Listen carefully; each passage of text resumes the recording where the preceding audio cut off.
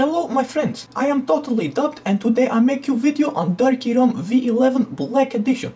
This is sponsored by Call of Duty and Battlefield 3. Anyway, right, so um, today I'm flashing over uh, Darky ROM V11. Um, so it's a pretty simple, um, straightforward procedure. As you can see at the moment I'm on a stock ROM, I'm on JW4 and I've got semaphore kernel 2.7.4 on that, so it's a JW4 uh, ROM. And in my internal SD card um, I have got my backup, my titanium backup of my apps, I've got um, Darky ROM V11 and I've got the latest uh, CyanogenMod uh, 9 uh, nightly. You can find that in the opening post on Darky ROM. Uh, just click on it and it will take you directly to the link. Here I'll show you.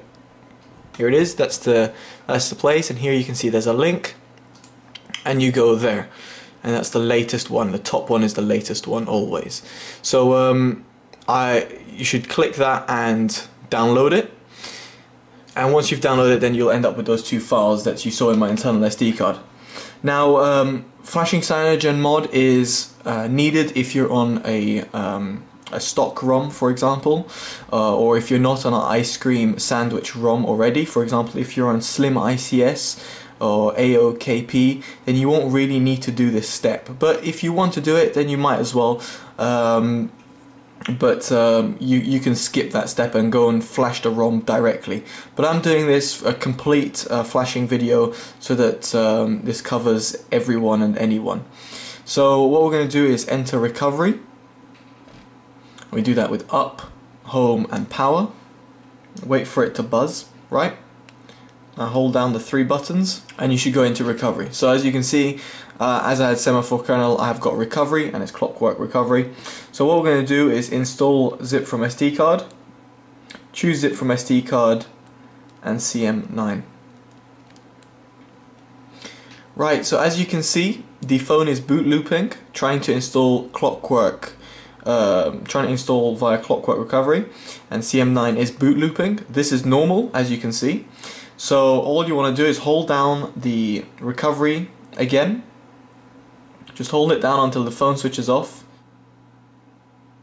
Like so.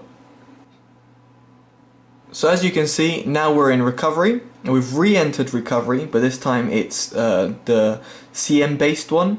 So um, this is completely normal. So we got into we got out of the boot loop by going into recovery again.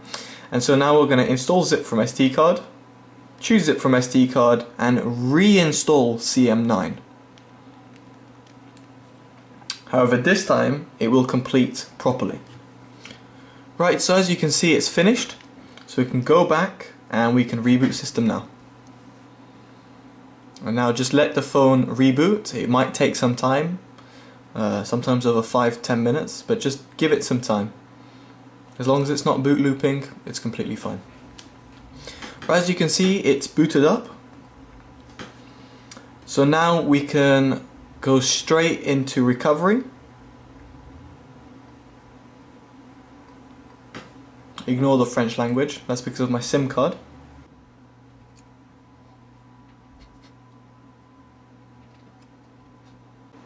So now we've entered recovery and what we want to do is wipe data factory reset. Wipe cache partition. And go and wipe Dalvik cache. Now install zip from SD card, choose zip from SD card and Darky ROM V11.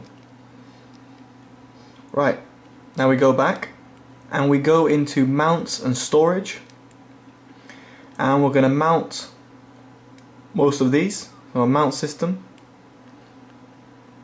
Mount data data, mount data, mount eMMC, that's my external SD card. You don't have to mount USB storage, that's for connecting up to the uh, up to the PC. Go back and reboot system now. There's a cool boot animation.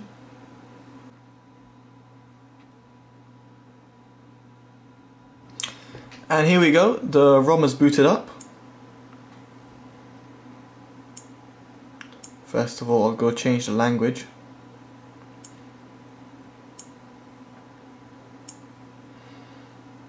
As you can see, the languages included, Dutch, English, English, Espanol, Francais, and Italiano. You've got the Android keyboard. Let's turn on Wi-Fi. Sure it works. As you can see, we have cookies is there. And now I'm connected to Wi-Fi. Let's check the internet. There you go. Just make sure it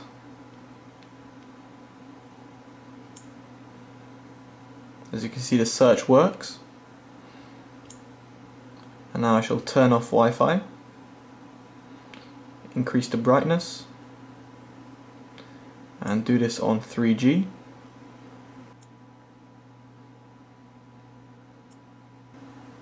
As you can see, obviously that 3G is working as well, everything's working good.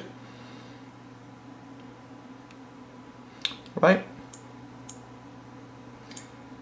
I'll now go to About Phone. And here you can see Darky ROM V11 Black Edition.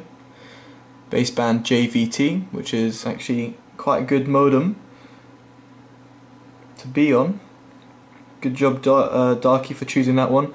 And we're on Semaphore ICS 1.25S, uh, um, which again is a good choice, if you ask me. And we've got Voodoo Sound, as you can see there.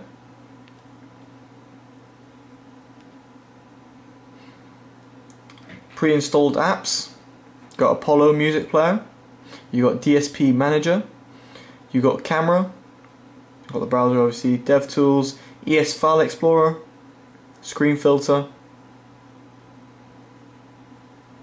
Let's try to load the widgets. You got Semaphore Super User. Into the widgets,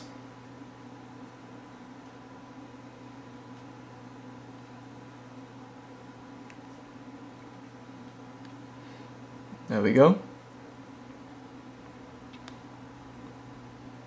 There is this issue of having a little black screen on the edge, but that's because of the wallpaper. Let's go via the gallery.